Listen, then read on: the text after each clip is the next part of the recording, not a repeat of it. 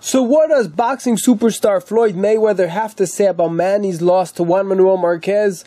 Well, Mayweather says, hopefully he's okay. My prayers go out to the Pacquiao family. I know he loves the sport of boxing, so hopefully he can bounce back. There's an article by Ben Thompson on FightHype.com. You got to check it out. FightHype.com. Ben Thompson.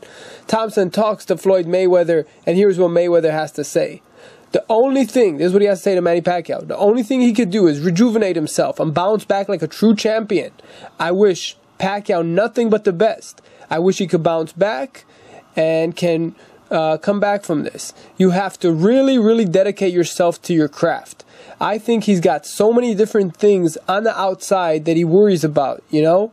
But it was a good thing that he was able to come into the sport, you know, piggyback off my name and get a bunch of endorsement deals and make a good living.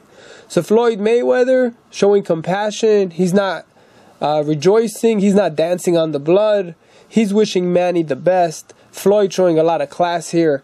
Uh, Floyd also told Thompson, Ben Thompson of FightHype.com, Pacquiao's focus should be trying to get a vacation, get his mind right, get a few tune ups, so he could bounce back.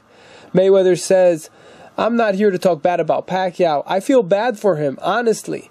There's a difference in uh, the ways you could get knocked out.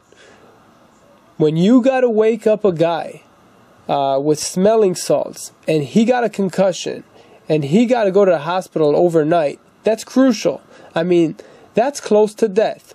And that's funny that Mayweather said that because a lot of people they didn't celebrate until they made sure Manny was okay because they were really worried about Pacquiao. Once they saw him getting out, getting knocked out by Marquez, and the way he went down, I know a lot of Marquez fans that were telling me that they couldn't celebrate until they saw that Manny's okay, and then of course they were happy. So there you have it, Floyd Mayweather saying that he feels bad for Manny Pacquiao. He's not celebrating it, and he hopes that Manny bounces back. And I think Manny will be back. Stay tuned. EsNewsReporting.com. I'm Elie Seckbach reporting, and you can follow me on Twitter at Seckbach.